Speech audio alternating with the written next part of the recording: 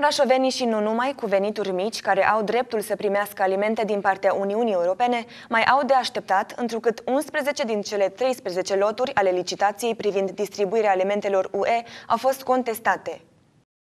Potrivit mytex.ro, reprezentanții prefecturii Brașov ne-au informat că pe data de 26 februarie, la sediul instituției a ajuns ultima adresă de la Ministerul Fondurilor Europene, prin care au fost informați că 11 din cele 13 loturi, inclusiv numărul 10, în care sunt incluse județele Brașov, Covasna, Harghita și Neamț, au fost contestate. Aceasta a fost ultima corespondență cu Ministerul Fondurilor Europene. Prin urmare, reprezentanții nu cunosc stadiul la care s-a ajuns ajuns după formularea contestațiilor și nici nu pot răspunde cât va mai dura până să fie distribuite alimentele Uniunii Europene către brașoveni. Se pare că angajații instituției deja pregătiseră baza de date cu beneficiarii ca să fie comunicate primăriilor, dar s-a ivit problema în cauză. Prefectura Brașov a comunicat situația primăriilor din județ pentru a informa pe oameni, dar chiar și așa aceștia îi iau cu asalt, fiind disperați că nu vor mai avea ce să pună pe masă.